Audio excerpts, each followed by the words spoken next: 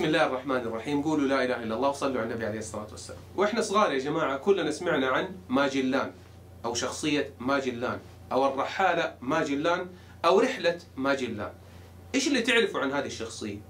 اللي سمعنا إنه شخص سافر إلى آسيا عن طريق الغرب عشان يحصل على التوابل أو تجارة البهارات واستطاع إنه هو يعبر مضيق بين أمريكا الجنوبية وجزيرة النار أو أرض النار اللي بعد كده هذا المضيق سمي باسمه مضيق ماجلان وأخيرا استطاع الوصول إلى المحيط الهادي وقتلوا واحد من جزر الفلبين من آكلي لحوم البشر. وانتهت حياة هذا الرحالة آه، ماجلان والله يرحمه وحزنا عليه البرتغالي. وبعضنا يعتقد إنه هو مسلم كمان. إنت ما زلت مؤمن بهذه القصة؟ إذا كنت ما زلت مؤمن بها فاعلم رحمك الله إنك واحد من ضحايا غزاة التاريخ. اللي ما عرفناه وإحنا صغار عن هذه القصة إنه ماجلان هذا عبارة عن قسيس صليبي حاقد على الإسلام والمسلمين. متخيلين الفرق الهائل الشاسع ما بين القصة الحقيقية الواقعية والقصة اللي رووها لنا. طرد من البرتغال وصار يعمل عند الملك الأسباني. عارفين إيش كان عمله عند الملك الأسباني اللي هو أساسا هذا الملك؟ كان عدو للإسلام والمسلمين؟ كان يشرف على محاكم التفتيش. كان يسفك دماء المسلمين في محاكم التفتيش في إسبانيا. اللي قرأ جيدا في التاريخ اللي يعرف إيش هي محاكم التفتيش يعرف إنها كانت مجزرة من مجازر المسلمين. بعض المسلمين الأوروبيين هربوا من محاكم التفتيش وطاردهم ماجلان، لكن مين اللي قاوموا؟ المجاهدين المغاربة. اللي من المغرب العربي، وعام 1519 ميلادي عقد ماجلان بينه وبين ملك إسبانيا صفقة يقوم بموجب هذه الصفقة، يستطيع بموجب هذه الصفقة إنه يهاجم المسلمين في عقر دارهم في بيوتهم الآمنة على المسلمين المدنيين وليس العساكر أو المحاربين أو اللي حاملين سلاح. لا لا لا على النساء والأطفال. عارفين ليش؟ عشان يجعلهم يعتنقوا المسيحية غصبا عنهم. بالسلاح بالنار بالقوة. يا جماعة الدين اختياري. من حقك تختار دينك. لكم دينكم ولي دين. عمر الإسلام ما جبر الناس على الدخول فيه على العموم. وصل ماجلان إلى جزيرة الفلبين عام 1521 ميلادي عارفين إيش سوى صار حرامي. صار يسرق أموال الناس الأهالي الآمنين المدنيين اللي ما لهم في الحرب اللي ما هم حاملين سلاح. جنود ماجلان صاروا يغتصبوا النساء في الفلبين. الناس البسطاء الأهالي إيش سووا في هذه الحالة؟ صاروا يقاوموه لكن كيف يقاوموه بأسلحتهم البدائية. يعني كيف حيقاوموا الجيش الإسباني؟ أخيرا صاروا الأهالي يهربوا إلى جزيرة ماكتان الفلبينية اللي كان يحكمها السلطان لابو لابو.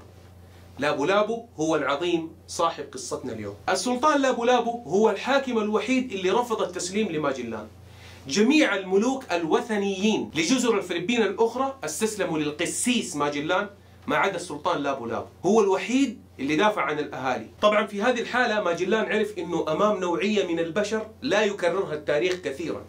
هذه نوعية خاصة.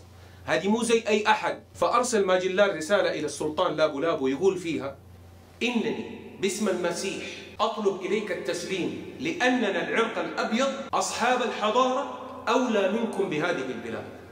رسالة مليئة بالعنصرية. لكن على مين؟ على بطل من أبطال الإسلام؟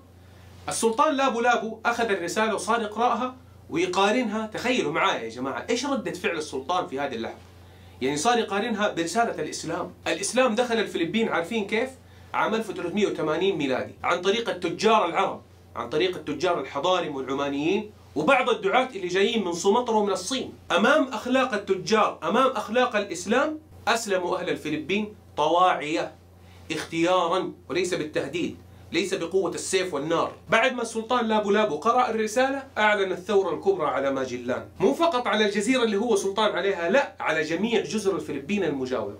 وأرسل رسالة إلى ماجلان رد على نفس رسالته. كتب لماجلان وإن الإله الذي نعبده نحن المسلمون هو إله جميع البشر على مختلف ألوانهم. بعدها السلطان لابو لابو قام بتشكيل جيش. كل اللي في هذا الجيش المدنيين. أسلحتهم بدائية. عشان يقاوموا أكبر جيش عرفوا التاريخ في ذاك الزمان. الجيش الإسباني. عارفين إيش قالوا المسلمين لما التقوا الجيشين؟ فين تقابلوا؟ في جزيرة ماكنتان الفلبينية اللي والي عليها السلطان لابو لابو. لما تقابلوا الجيوش صاروا الفلبينيين المسلمين يقولوا الله أكبر.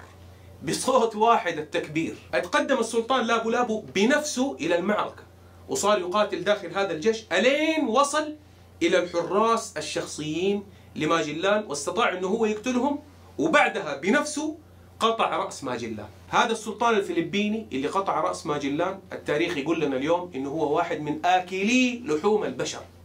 متخيلين غزاة التاريخ إيش سووا فينا يا جماعة؟ بعد ما قتل ماجلان الجيش الصليبي كله صار يهرب. صاروا يهربوا الين وصلوا إلى سفينة واحدة فقط من الأسطول حقهم.